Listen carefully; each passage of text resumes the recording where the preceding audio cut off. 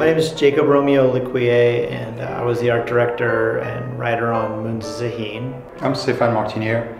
I was uh, invited to help out complete the program with Jacob and can offer my help uh, based on the program that Jacob put together.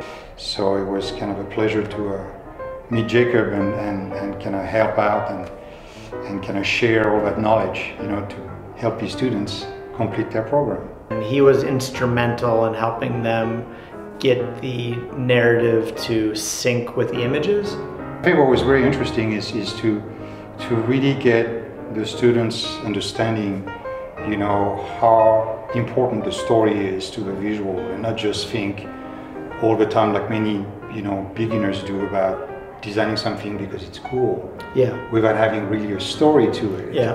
And tied to a narrative that's very specific, you know, kind of forces you to think very, very acutely about, okay, what is important? You know, how how is that design making sense? For that, it was an experience you know, like making an omelet. So mm-hmm. it was taking several eggs, putting them into a bowl, and once you do that and you pour it, you yeah. can't tell what the individual eggs are, but you just have this beautiful omelet in the end. And uh, I think that was a big learning curve for most of the students on this project. To me, it, it's like what's interesting is how do you approach you know each project? And you know the book is a very good example of that. It's like when you look at it for the for the book itself or the story itself then it has a very different meaning and you approach it very differently than when you say okay what, what is it for me?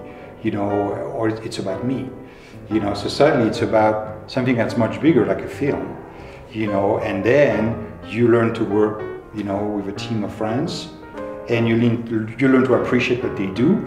You learn to let go of things when you have to let go of things, and and uh, and in that process, you know, the teamwork kind of emerges, and, and that's that's the best part of it. Once people started trusting each other and letting go of their individual identity in the project, yeah. it start uh, good work started to emerge. One of the main things that you always look at of an artist is not the fact that he draws the best, it's the fact that he has good ideas. If a guy is not that great at drawing, it's not a problem because you can always find someone to do it, to make things better.